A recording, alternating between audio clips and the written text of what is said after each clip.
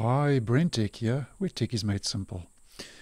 The Microsoft Edge web browser has received a new feature to customize the homepage in the uh, new tab page in the browser called Show Promoted Links. Now, I see that this feature is both available in the stable version and also the Canary version of Microsoft Edge, which is used for testing and experimenting. And although the feature is available in the stable version, I will show you the feature in Edge Canary today for the purposes of this video.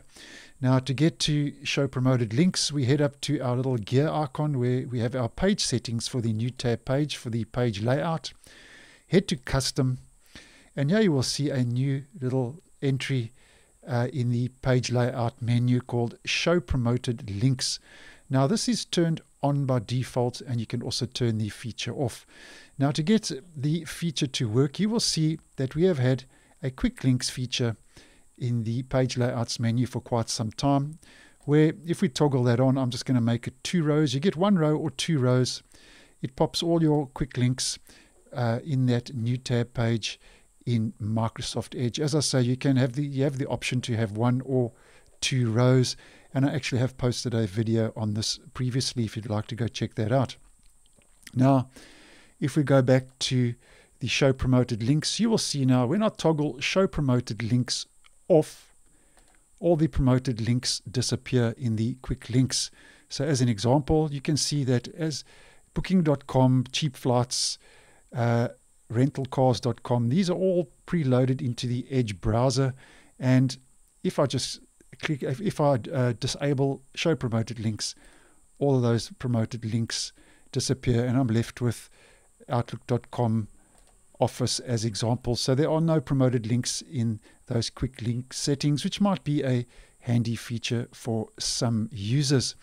And now, just to mention again that um, image or video of the day has made a comeback again. This feature has come and gone uh, for quite some time, and I have posted numerous videos on this previously. But I see also in the stable version and Edge Canary uh, that image or video of the day has made a return.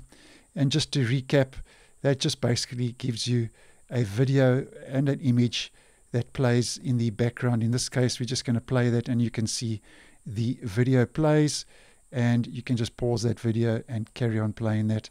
And I have featured this um, in numerous videos before. And as I mentioned, this feature does seem to be coming and going in the Edge browser. So hopefully now it is here to stay. And you can also do a search on this channel for that image or video of the day uh, for videos I've posted previously if you would like to go check those out. So just wanted to let you know that show promoted links is both now available um, to toggle on and off in the stable version and also Edge Canary, which just gets rid of those promoted links in the quick links on your home page in the new tab page.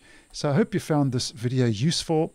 Once again, thanks for watching and I will see you in the next one.